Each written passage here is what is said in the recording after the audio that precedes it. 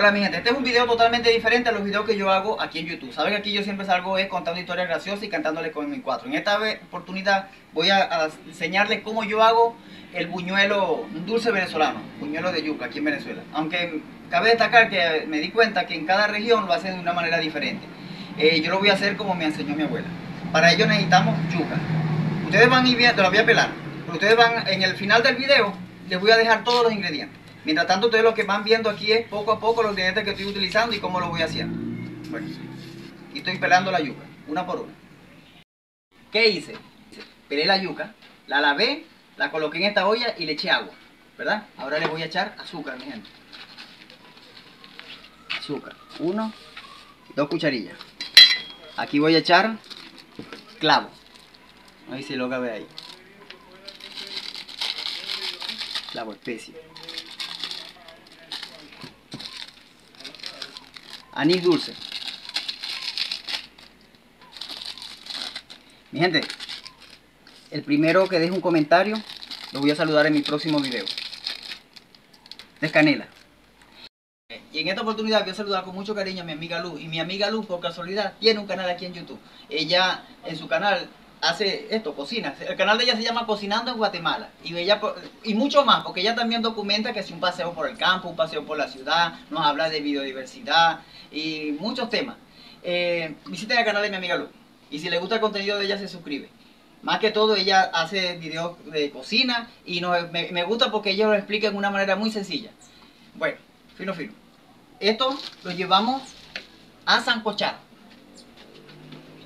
Bueno, mi gente, ya se sancochó la yuca, mi gente. Sacamos aquí rápidamente. No esperemos que se enfríe, mi gente. Y con esta herramienta, que le llaman el aplastapapa, le damos rapidito, mi gente. Aquí vamos a hacer una masa. Ustedes ven que se hizo de noche, mi gente. Aquí pasó de todo un poquito. Aquí, por un lado, se fue la luz. Por otro lado, llovió. Bueno, mi gente, pero vamos a ver rapidito. Entonces hay que aprovechar antes que la yuca se enfríe. Hacer una masa. Ok, mi gente. Esta fue la cantidad de masa que me salió, ¿ven? Yo utilicé 2 kilos y medio de yuca, mi. Y el, agua donde se zancochó la yuca, esta que está aquí, esta agua no se bota, mi gente. Porque con esta agua vamos a hacer el melado. Con esto, con el papelón. No sé cómo lo llaman allá en su país. Esto es la cuestión que sacan de la caña. Bueno, mi gente, aquí amasamos. Amasamos. Bueno, está caliente la yuca todavía, ¿no? Y de vez en cuando le rociamos esto, mi. Este es anís dulce.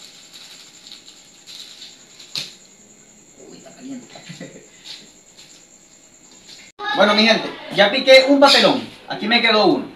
Si hace falta, yo pico el otro. Llevo un papelón picado. Bueno, mi gente, lo echamos aquí. ¿Está? Ok, poco a poco, que se vaya cocinando. Este con el agua que quedó desde cuando sancoché la yuca. Sabe que esa agua yo le eché azúcar, le eché canela y clavo. Pero de todas maneras yo le voy a agregar más anisito. Le voy a agregar un poquito más de clavito. Y le voy a agregar un palito más de canela. Bueno, bien, les sigo informando. Bueno, mi gente, aquí tenemos la masa hecha con la yuca, ¿verdad? Les voy a decir algo. Yo le eché dos huevos, ¿vieron? Para que sepan. Ok, la hacemos para rollo así. No tan finita, mi gente, no tan finita. Ella se siente un poquito pegostoso, pero eso es, es normal. ¿Sabes que la yuca siempre es así? ¿Entiendes? Con esta tapa hacemos las arepitas y sacamos una. Y sacamos la otra, mi gente. Y sacamos otra, mi gente.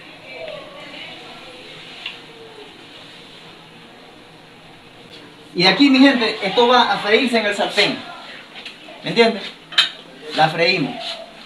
Yo tengo un tenedor por aquí. La freímos. Estas ya están para voltearla. Estas son las, las, Todavía le falta un poquito. Bueno, eh, amiga Lu. Eh, ¿Ustedes hacen dulce así allá en Guatemala? De con, yuca. Déjame dicho en los comentarios. Dale. Bueno, mi gente, vamos a sacar, ¿verdad? Uy, esta cajita que me freímos. Sacarla, ¿verdad? Después que la freímos, la sacamos.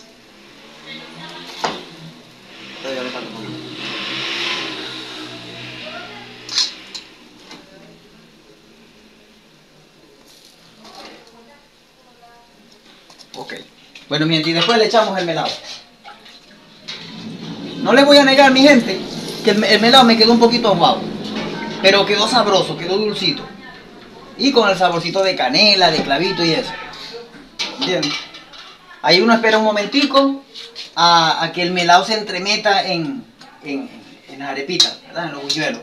Y ya después listo para comer, mi gente. Así que entre un momento nos vemos, yo comiendo.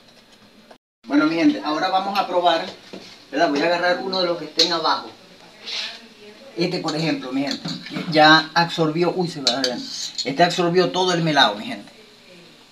Ve cómo está esto, mi gente. Esto está sabroso. Mm. No es que ustedes vayan a decir, no, que es un video.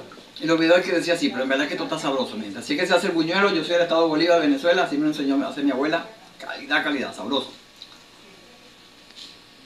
Para esta receta yo utilicé 2 kilos y medio de yuca. También utilicé 5 gramos de clavo. Primero eché 2 gramos cuando me puse a sancochar la yuca y el resto después cuando me puse a hacer el melado. Así mismo hice con la canela en concha y con el anís dulce, mi gente. Aunque yo dejé 5 gramos de anís dulce para amasar la yuca. Mi gente, ustedes vieron que yo le eché 2 cucharillas nada más de azúcar cuando puse a sancochar la yuca. No, mi gente, yo después tras cámara le eché más azúcar. Yo utilicé 250 gramos, mi gente. Por eso fue que me quedó dulce. Mi gente, yo utilicé 2 huevos para amasar la yuca, mi gente. Yo utilicé un solo papelón, pero en sí yo veo que la receta tiene que llevar 2, mi gente, para que el melado quede espesito. Y un litro de aceite para freír los buñuelos.